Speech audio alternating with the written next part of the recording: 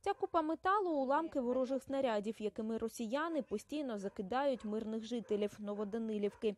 Небезпечні подарунки пан Юрій назбирав на своєму подвір'ї. Каже, це врожай лише за останні кілька місяців, бо прилітає тут постійно. Багато прилітає. Я ж кажу, не те саме. О, Последні дні, блін, тут ложуть так, що мамородне. У будинку чоловік живе разом зі своєю дружиною Аллою. Подружжя розповідає, окупанти гатять по селу і вдень, і вночі. Коли гримить не сильно, пораються по господарству, бо роботи у селі завжди багато. За 10 місяців повномасштабної війни місцеві жителі вже звикли до вибухів і призвичаюються жити у таких реаліях. Я їздила в Запоріжжя декілька разів. І виходить, я приїхала в Запоріжжя, оця тиша мене вже починає убивати. Вже знаєте, як ото? Вже настроєний на те, що должен бути обстріл. От як утром встаємо, так і процедура вікна вставляти. О, і пленками забивати. У мене вже, я не знаю, це саме. Це так, бахнули, повилітало все. І стекла, і штапики, і все на світі вилітає.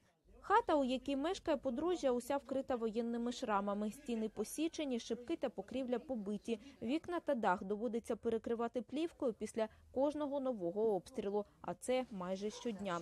Ось такий вигляд мають кімнати всередині.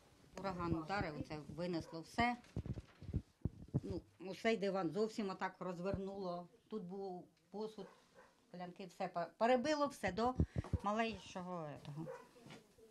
Ну, отак я поставила, так трошки поприбирала, щоб хоч, можна було заходити. Ураган же він був начинений такими маленькими шариками. І оце оці шарики всі лі- літали.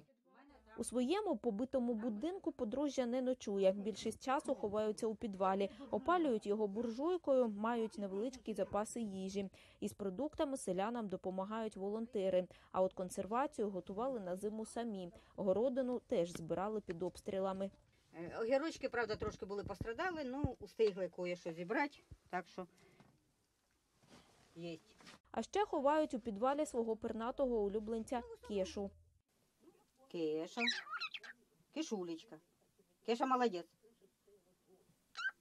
А це пан Юрій вже веде нас коридорами місцевої школи. Роботі в ній він присвятив роки свого життя. Будівля, у стінах якої ще рік тому лунав дитячий сміх, зараз зруйнована. Звісно, важко. Я ж вам кажу, що я 17 років проработав директором. Я вклав сюди цілу кучу всього. Школа була, скажу так, добротною. Этот, е, сільських школ вона була, мабуть, одна із кращих.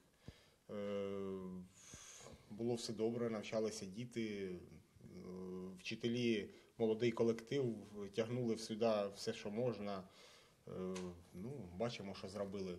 По селу росіяни б'ють по кілька разів на добу, майже з перших днів війни. І зараз обстріли стали ще сильнішими, говорить староста. По будинках людей та цивільній інфраструктурі гатять мінометами, градами, застосовували і фосфор. Тиждень тому розбило й погріб пана Ігора. Чоловік тоді дивом залишився живий. Ночі тікали, жінка каже, то давай швидше в погріб, у погріб. Кажу, бач, якби рано прибігли і вбило б не було б нас. Попри небезпеку, покидати рідне село Ігор не збирається. Доглядає тут за господарством, каже, раніше був фермером, а зараз возить на старенькому тракторі людям воду та дрова. Нині із понад восьми сот жителів тут залишилось трохи більше сотні. Переважна частина з тих, хто не виїхав, пенсіонери. Мені було 21 рік, як я приїхала по направленню з Чернігівської області із Сосницького технікума.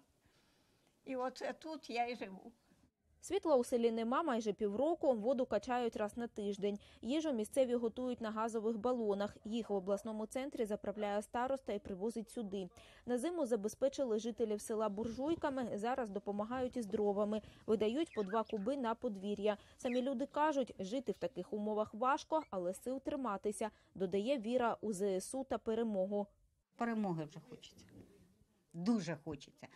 Із Запорізької області Інна Гогой, Ігор Воробій, подробиці телеканал Інтер, марафон Єдині новини.